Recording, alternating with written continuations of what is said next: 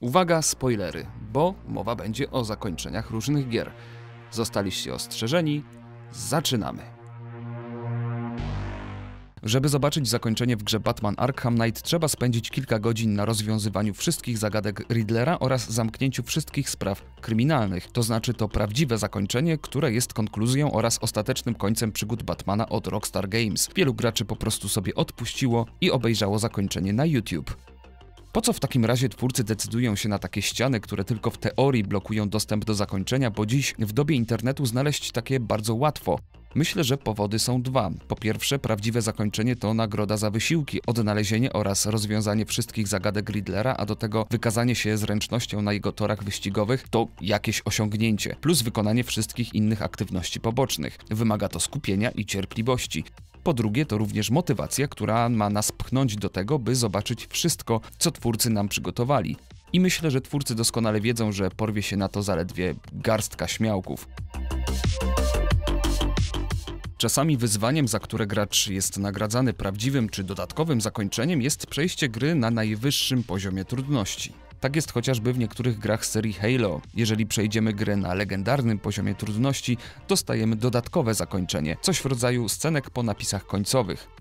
Odblokowanie prawdziwego zakończenia, o ile gra takie posiada, zawsze wiąże się z dodatkowym nakładem pracy ze strony gracza. Nie tylko takim, który ma miejsce w Arkham Knight, ale również percepcją albo abstrakcyjnym myśleniem, bo spełnienie warunków prawdziwego zakończenia czasem z logiką nie ma zbyt wiele wspólnego. Prawdopodobnie pierwszym przypadkiem prawdziwego zakończenia było te z gry Wizardry 4.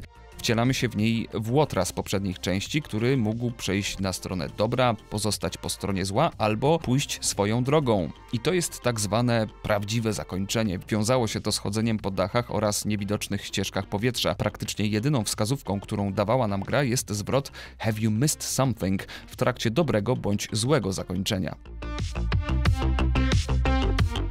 takie ukrywanie prawdziwego zakończenia w grze budzi we mnie mieszane uczucia. Jasne, jest to nagroda, a za nagrodą powinno stać wyzwanie, ale moim zdaniem takie wyzwanie powinno być również klarowne. W grach serii Persona często, by odkryć prawdziwe zakończenie, konieczne jest udanie się w kilka miejsc czy porozmawianie w konkretny sposób z konkretnymi osobami. W Personie 4 odblokowało to ostatni loch oraz ostatniego bossa, a także finalne rozwiązanie zagadki. Podobne zabiegi zastosowano w Personie 5. To gratka dla tych, którzy przechodzą ulubioną grę wielokrotnie, a dating simy, czym po części seria Persona jest, na to właśnie są nastawione. Zresztą gry wywodzące się z Japonii często prócz standardowych dobrych czy złych zakończeń mają te prawdziwe. Gra Catherine ma trzy prawdziwe zakończenia, które są po prostu rozszerzonymi wersjami tych dobrych ze zmienionymi cutscenkami. Prawdziwe zakończenie w dodatku Daughters do Resident Evil 7 też aktywujemy za pomocą określonych czynności. W przeciwnym wypadku otrzymamy te złe, choć akurat przy tej produkcji pojęcia złe, dobre, prawdziwe nie są raczej użyte w kontekście ich moralnego wydźwięku. Z kolei Castlevania Symphony of the Night częstuje nas innym zabiegiem. Walczymy z Richterem, ostatnim bossem. Kacstenka, napisy końcowe, koniec. A jednak nie. Okazuje się, że to zmyła, bo przed nami kolejna połowa gry, tym razem w odwróconym zamku. Żeby odblokować drugie przejście, konieczna jest eksploracja, czyli jeden z kluczowych elementów gier typu Metroidvania. Zabicie Richtera przerwie linię Belmontów, a tego chyba nie chcemy. Musimy więc go oszczędzić. Żeby jednak dostać w ogóle taką możliwość, musimy spełnić kilka warunków. Jeżeli tak się stanie, dostaniemy święte okulary, które w trakcie walki ujawnią, że wokół Richtera lata sobie dziwna kula i to te kule musimy atakować. Skomplikowane to. Nier Automata z kolei wymaga od nas tego, byśmy grę przeszli trzy razy plus spełnienie kilku innych warunków, by odblokować zakończenie E, które jest uznawane za to finalne, prawdziwe i tak dalej. Też robi to dobrze, bo została wokół tego zaprojektowana. Zresztą Nier Automata ma w zakończeniu twist, który bardzo mi się podoba.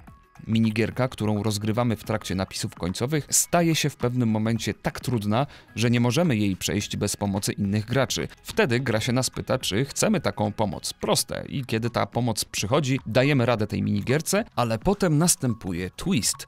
Gra pyta się nas, czy sami nie chcielibyśmy być takim graczem. Warunkiem jest usunięcie swoich saveów. I to jest takie fajne. Usuwasz jedyną rzecz, która tak naprawdę się liczy, by stać się częścią większego obrazka.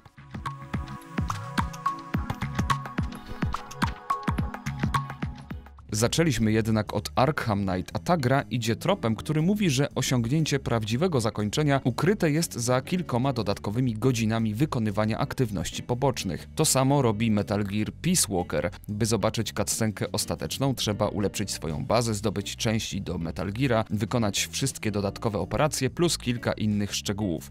Takie grindowe podejście można łatwo wykorzystać po to, by spieniężyć swoją grę implementując system mikrotransakcji. Wtedy gracz staje przed wyborem.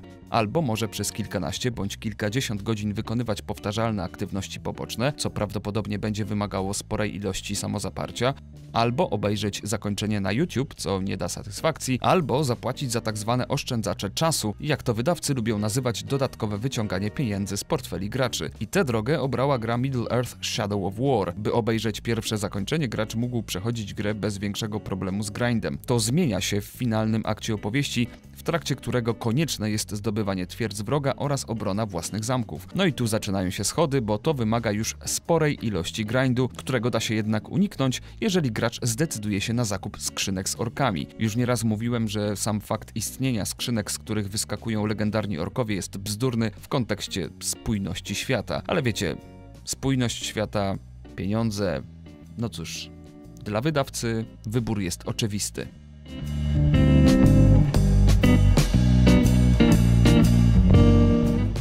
Płacenie za zakończenie nie jest zabiegiem nowym. Wcześniej pojawiło się to w formie DLC-ków fabularnych, które toczyły się po właściwej historii. Zakończenie Dragon Age Inkwizycja jest tak nijakie i pozostawia tyle niedomkniętych wątków, że jakby to były okna i drzwi, to byłby przeciąg, a ja skończyłbym z Katarem. Oczywiście te wątki rozwiązane były w dodatku Trespasser, który można było sobie nabyć jakiś czas po premierze. Zresztą Dragon Age Origins również winny jest tego grzechu, choć nie na taką skalę. Dodatek Witch Hunt zamyka wątek Morrigan, który pozostał otwarty po zakończeniu fabuły. Dead Space 3 robi to samo. Nie dość, że gra wprowadza mikrotransakcje, to jeszcze jej zakończenie jest wysoce no, niesatysfakcjonujące, co generalnie pasuje do jakości gry. Ale wiecie co? Jest DLC, które kończy historię. Choć tak naprawdę nie kończy, bo jest wprowadzeniem do czwartej części, której prawdopodobnie nie ujrzymy. Żeby poznać los Jasona Toda po wydarzeniach z Arkham Knight, też konieczny był zakup dodatku. A to tylko kilka przykładów, bo gier, które każą nam sobie płacić za te prawdziwe zakończenie, czyli zakończenie, które zamyka wszystkie wątki historii, jest więcej. Nie przepadam też za zwrotem prawdziwe zakończenie. To znaczy, w niektórych przypadkach to pasuje, ale dla mnie każde zakończenie jest na jakiś sposób prawdziwe, jeżeli doprowadzają do tego działania gracza. Prawdziwe bowiem są konsekwencje tych działań. Tak więc nawet jeżeli trafi nam się finał określony jako zły czy najgorszy, to i tak będzie on prawdziwy, bo to nasze decyzje doń doprowadziły. Ale cóż, to już tylko kwestia nazewnictwa. Jeżeli takie zakończenie jest odpowiednią nagrodą za wysiłki, a nie próbą wycięcia zawartości gry, która nam się należy, żeby potem ją spieniężyć, no to nie mam z nimi problemu, choć czasem brakuje mi nieco cierpliwości. A wy, co zrobicie dla prawdziwego zakończenia? Do usłyszenia.